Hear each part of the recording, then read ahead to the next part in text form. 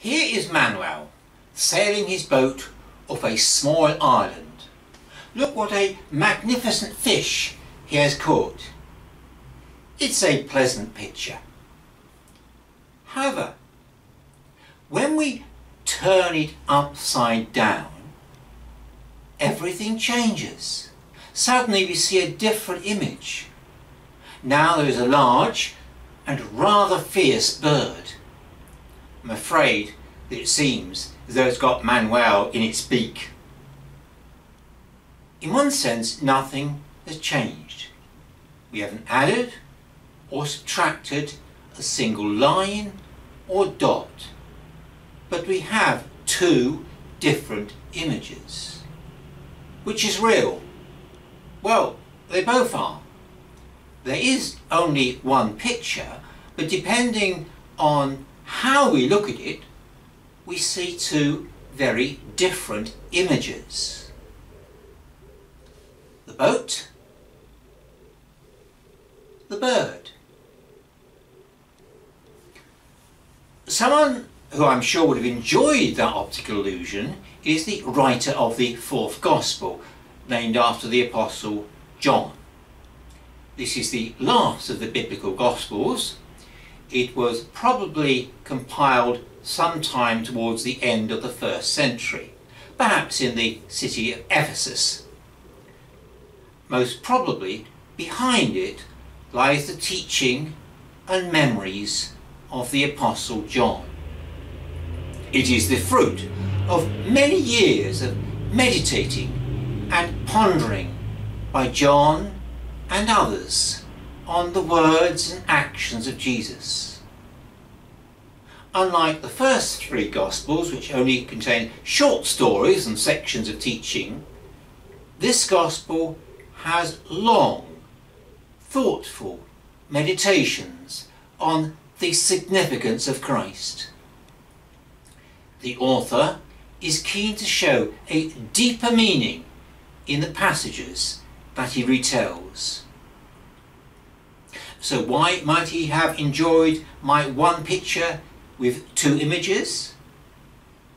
Because he does much the same thing in his gospel. Many of the stories have double meanings, depending on how you look at them. Frequently, Jesus' opponents can only see one dimension but turn the story upside down and you find a deeper meaning. So we should not be surprised then when in this Sunday's Gospel we get another passage with a double meaning. Jesus is teaching in the synagogue at Capernaum. It's only a few days since he has fed the 5,000 with some loaves and fishes that surprising lunch would have been naturally in everybody's mind.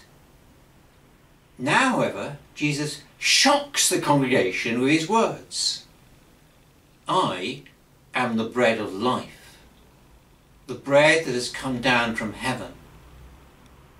What? From heaven? What nonsense. This this Joe's boy. We remember him playing in our streets as a kid. Okay, the miracle with the five loaves and two fishes was pretty impressive, but that doesn't mean he comes from heaven. So the Gospel reports them complaining. He's not this Jesus, Joseph's son, whose father and mother we know. How can he now say, I've come down from heaven? from heaven.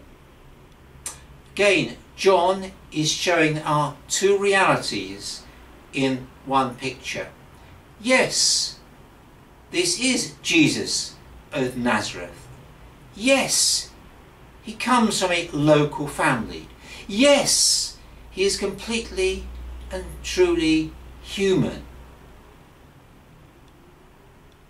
But, seen from a different angle, there is another reality present. He is also the incarnate Word of God. the bread from heaven, the fullness of divine life. Once more, his opponents can only see the picture in one way. This was not only an issue for the church in Ephesus, it has been a recurring paradox over the centuries. How can Jesus be both fully human and fully divine? Yet John is emphatic. Both realities are there in one picture. Furthermore, Jesus is not just from heaven, he is bread from heaven. Through Moses, the Israelites were saved from starvation in the desert by God giving them bread. This was manna, the small white bread-like substance that nourished those escaping slaves. However, as this gospel reminds us, eventually, like everybody else, their lives ended. We hear, Your ancestors ate the manna in the wilderness and they died. This gospel is silent about the Last Supper. There is no account of Jesus sharing bread and wine with the words, This is my body, this is my blood. Instead, we hear those words we've just had in the Gospel.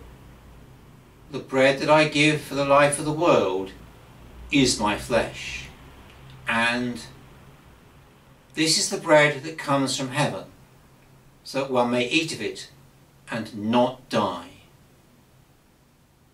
Again, we are challenged to turn our lives upside down and see another reality.